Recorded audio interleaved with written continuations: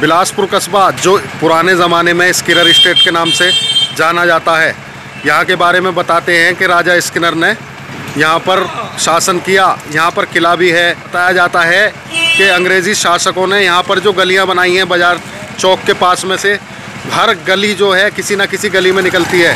हम यहाँ कुछ लोगों से बातचीत करेंगे इस कस्बे के बारे में, इसके कारोबार के बारे में। लोग चिंतित हैं कि यहाँ का कारोबार अब घट रहा है। ये बिलासपुर का मेन बाज़ार है, जो आजकल ग्राहकों को तरस रहा है। परिवहन व्यवस्था खराब होने के कारण यहाँ कारोबार पिट गया है। मैं निरंजन कुमार गर्ग, व्यापार मंडल प्रवक्ता बिलासपुर। आप सभी को नमस्कार करता हूँ।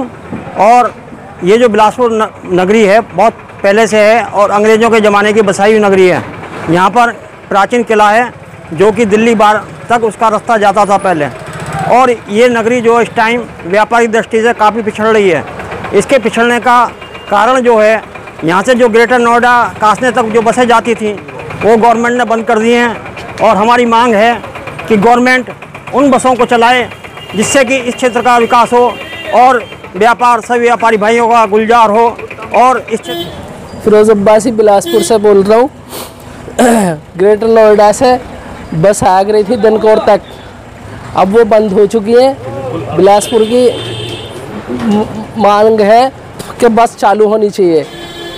अच्छा परिवहन व्यवस्था के कारण यहाँ का कारोबार पिछड़ रहा है। हाँ, बिल्कुल। कहना है। हाँ जी। बिल्कुल मामला ख़त्म है बाज़ार बिल्कुल खाली। यहाँ परिवहन व्यवस्था बिल्कुल ख़राब है जिसके कारण व्यापारियों में रोष है और काम पर बहुत दिक्कत है। यहाँ अगर परिवहन व्यवस्था बढ़ जाए बसों की आवाजाही नोएडा से जुड़ जाए तो यहाँ का व्यापार उन्नति पकड़ेगा।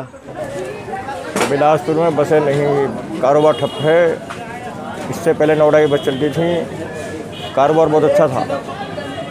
और जब से बसें बंद हुई हैं कारोबार नहीं है। तो आप ये मांग करोगे कि बसें चलाई जाएँ? बसें चलाई जाएँ। तो परिवहन व्यवस्था ठीक होने के ना होने के कारण कारोबार पिट रहा है। कारोबार ठप है